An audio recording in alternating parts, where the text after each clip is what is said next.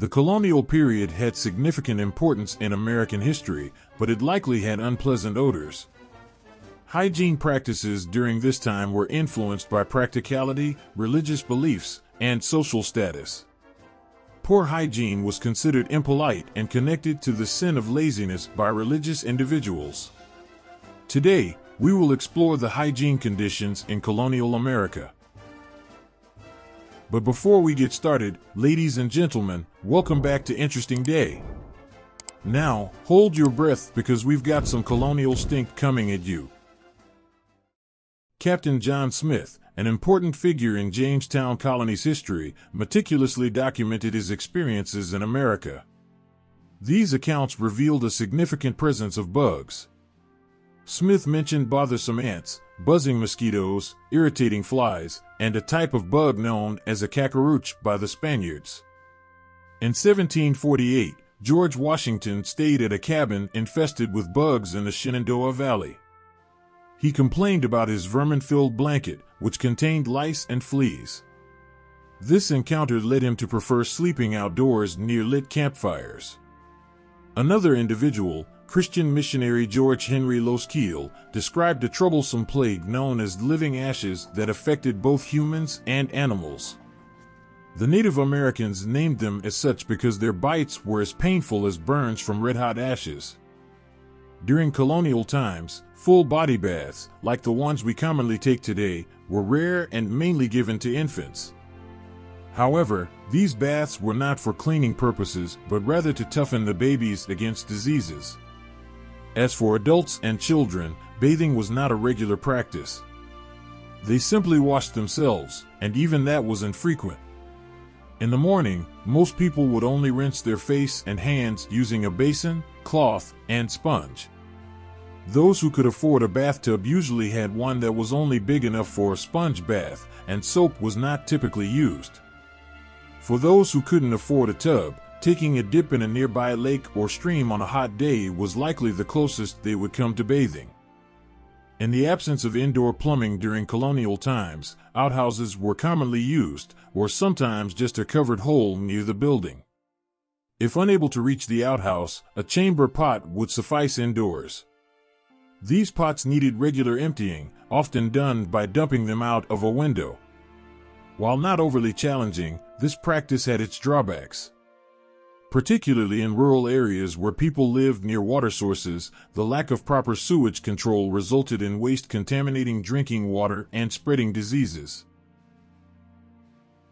Sanitation was not a priority in colonial America. Outhouses were often located near water sources, and streets were frequently filled with garbage and animal waste. This lack of cleanliness facilitated the rapid and easy spread of diseases. Dysentery, typhoid fever, and cholera were particularly common, especially during the summer months.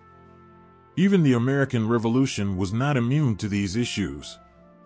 It is believed that two thirds of George Washington's troops at Valley Forge in December 1777 died from dysentery, influenza, or typhoid fever.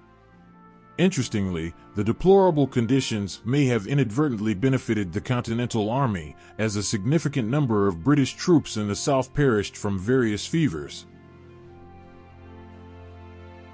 Even among scientists during that era, there was limited understanding of hygiene. While some doctors believed in the preventive benefits of cleanliness, others held onto theories centered around bodily oils. In the absence of a clear scientific explanation, people sought guidance from religion, which readily provided it. For the Puritans, cleanliness had moral implications. They believed that the cleanliness of one's body, clothes, homes, and towns directly correlated with their spiritual well being. Water was considered purifying and capable of cleansing both the body and the mind. Consequently, those who bathed were seen as less likely to commit sins or experience poverty. However, these beliefs mainly applied to private bathing, as the Puritans deemed public bathing as morally corrupt, potentially leading to sexual impropriety and disease.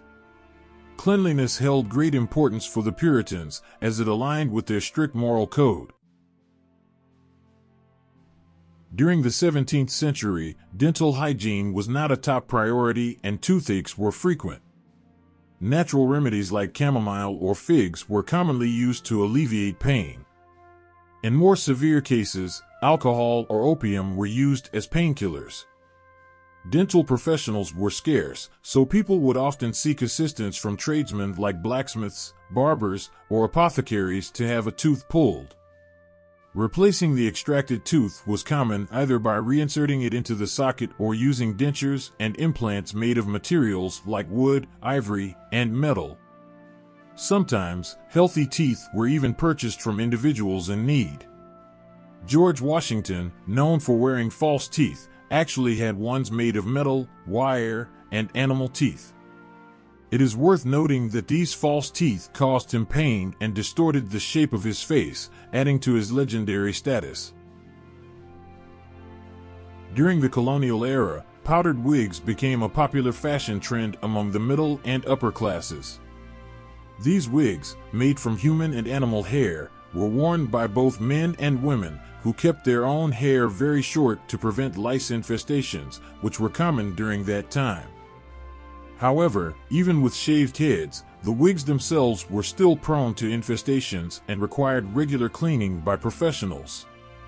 Ideally, the wigs should have been cleaned weekly, but due to the expensive nature of the process, not everyone was diligent about it. Even in colonial times, wealthy Americans had a penchant for luxurious European goods. Fragrant soaps were among the imported items favored by the affluent colonists. However, for the majority who couldn't afford such luxuries, making their own soap or purchasing it locally was necessary. Lye soap, a type of soap available, was produced through a time consuming and unpleasant process involving lye, ash, and animal fat. In colonial America, it was not common for women to shave any part of their bodies. Due to moral standards of the time, women were expected to cover up and show minimal skin, making shaving unnecessary. Even facial hair on women was typically not shaved, as it was considered a risky practice and believed that only experienced individuals could prevent bloodshed. Instead, women likely plucked hairs or used depilatory creams for hair removal.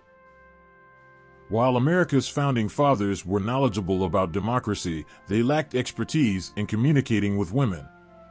For instance, Thomas Jefferson once told his daughter that a lack of cleanliness and delicacy in women was highly repulsive to their own gender.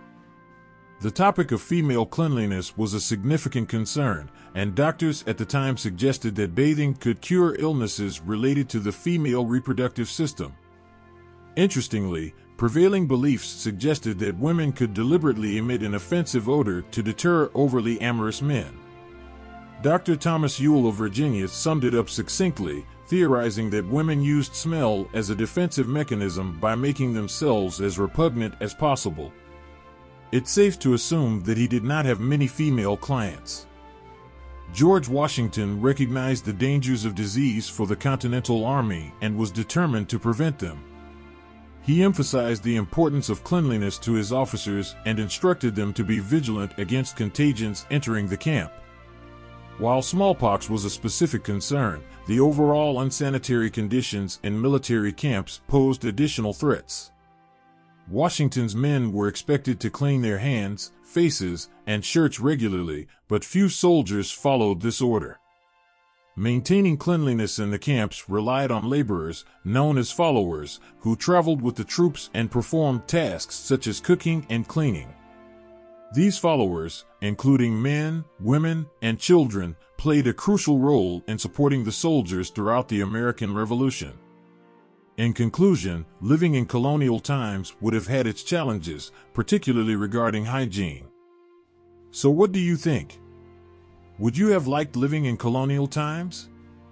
Would you stink the joint up? Let us know in the comments below. Thank you for joining us on Interesting Day. See you next time.